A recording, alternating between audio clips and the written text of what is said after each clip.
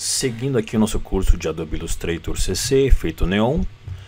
Então olha só, agora que nós temos ele pronto, nós vamos fazer o seguinte, eu vou fechar aqui, vou criar uma camada nova, vou jogar essa camada para baixo aqui, e eu vou criar aqui ó, um, uma caixa preta, ok?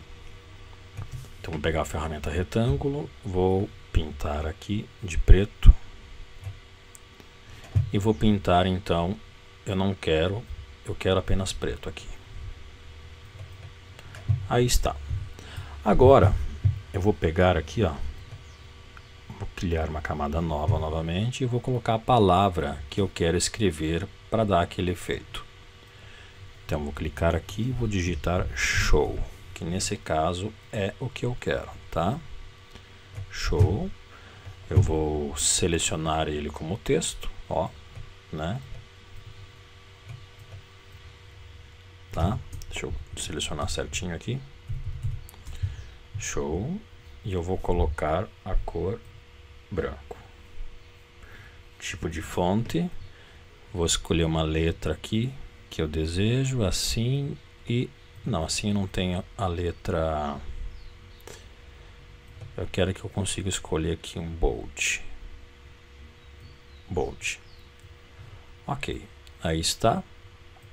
Vou posicionar aqui ó, da forma que eu deseje. Tá? Digamos assim. E eu coloco ele na parte superior, na parte de cima aqui, superior, na frente da palavra Inter.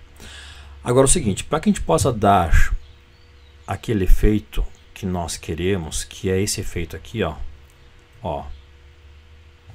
Esse efeito aqui, nós vamos apagar componentes, partes das nossas letras, fazendo com que apareça que está atrás, né?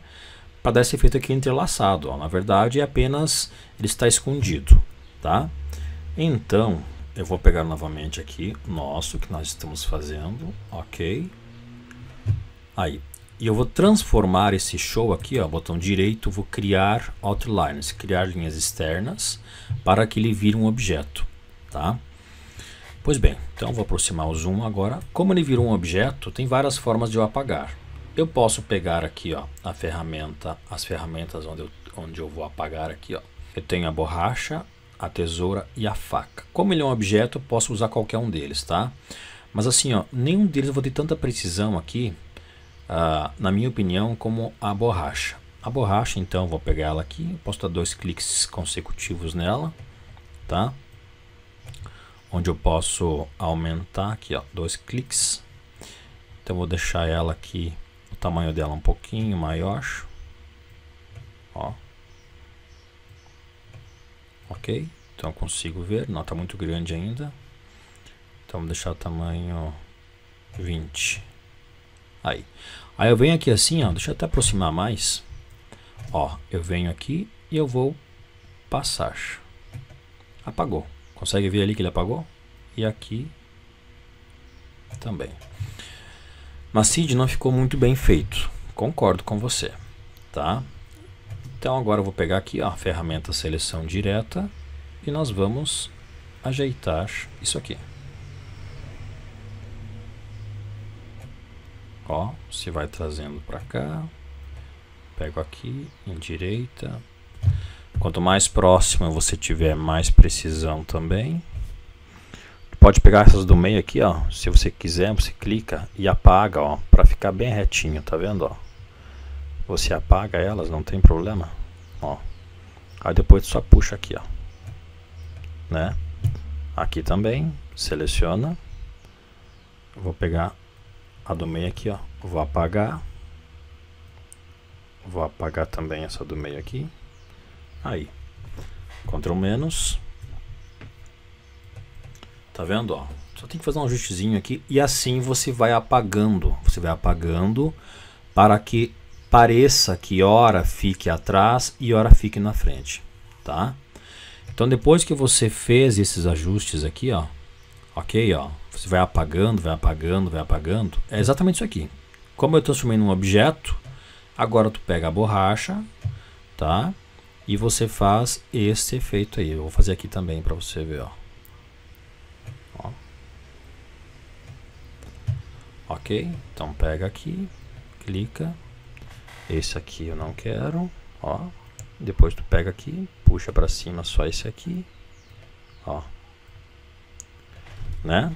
Tem que ter um pouquinho de paciência, ok? Isso é fato. Tudo que você quiser bem feito, ele leva, demanda um pouquinho de tempo, ó. Ó, clico aqui, clico de novo, puxo para baixo aqui. Esta aqui eu não quero. Clica, clica, clico de novo, puxo essa aqui para cima aqui. Clico, clico aqui, pego de novo, puxo para baixo. Ó. Ctrl menos. Tá vendo, ó? E vai ficando esse efeito. Então você vai apagando aí até ficar desta forma aqui. Ó que foi o que eu fiz no modelo anterior e por isso que deu certo. Aí nós temos um efeito neon, ok? E aí está então, né, o efeito bonito então que causa esse efeito de vidro. Lembrando que aqui no degradê você pode pintar qualquer cor, né, para ficar esse efeito bacana aqui dentro do Illustrator, que parece um tubo de vidro, né? Então, se você colocar um degradê azul, vermelho, cada um vai dar uma cor diferente que você pode trabalhar. E depois você pode jogar para o Photoshop e ainda fazer um efeito lá sobre posição de degradês, pintando com qualquer cor que você desejar, ok? Então é isso aí. Espero que tenha gostado desse efeito aqui do Illustrator. E veja você no nosso próximo tutorial.